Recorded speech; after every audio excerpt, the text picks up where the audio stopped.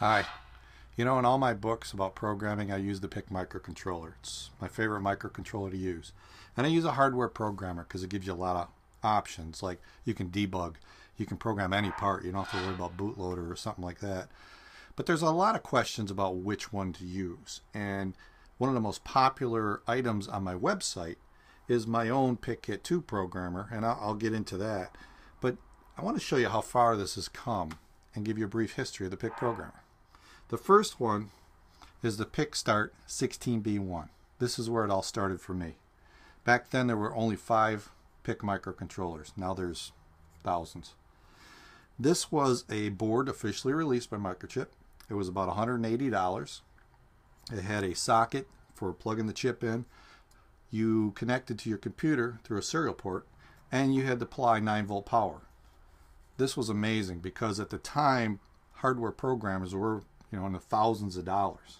So to get something for $180 was phenomenal.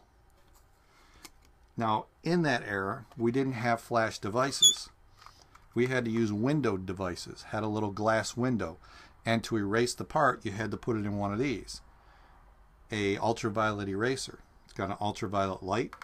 You put the chip in, erase it, 15 minutes later, it's ready to do ready to use again. So you'd have a string of those that you would rotate. Now after the 16B1 came the PicStart Plus. This again was officially from Microchip. Came with a ZIF socket connected to the serial port and 9 volt power. It just it was a nice package.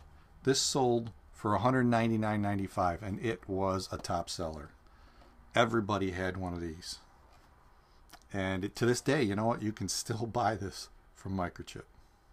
The next one was the David Tait style programmer. Now this one is actually from Microengineering Labs, but David Tait was a professor who actually designed his own programmer, open sourced it, and based it on the parallel port. Now instead of 9 volts, you had to supply like 16 to 18 volts to produce the high voltage the programmer needed. But this was outstanding, and these popped up everywhere because it was open source this was the programmer to buy. This one was around $59, but you could build your own for in a range of about $25, $30. The next one is the JDM programmer. Now this was an amazing design. It was powered off the serial port, but you didn't need an external power supply. It generated the high voltage through the serial port and it used used very common components a couple transistors like six diodes two capacitors and a couple resistors. This thing was amazing because you could program all the parts and it was cheap open source so you could build your own. The software was a free download and there was more than one source for the software. People would come up with their own versions. In fact you can still buy these on ebay. You can still build one you can still get the software. So this is not a bad programmer. It's not as good for in-circuit programming and you can't do debugging with it, but it's a decent programmer and, and I actually designed one of these back in 2005. So it was it was a fun fun programming. But it all changed. All this changed when Microchip released the PicKit 2.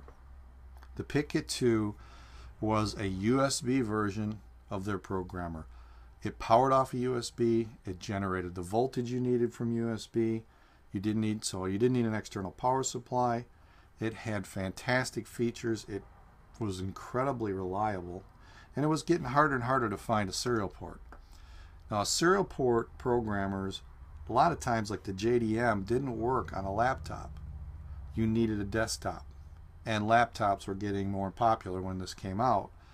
So this was the programmer to have. You can still buy these. I still recommend you have one because of the features. In fact, I went so far as because it, it's an open source design, I designed my own. And there's many other people who have designed their own. So you can get all kinds of PicKit 2 programmers. That is probably the most popular page on my website is information about the PicKit 2. Now the final one is the official officially released PicKit 3 programmer. This is the one to have if you want to use the latest devices. It works with MPLAB X, the IDE for all the PICs. It supports all the latest devices and it's actually faster at programming than the PicKit 2 or any of them. So this is the latest and greatest to have in your uh, toolbox. So if you like this video, please subscribe. That way I know you're watching. And check out some of my other videos. See if you like those too. Thanks for watching.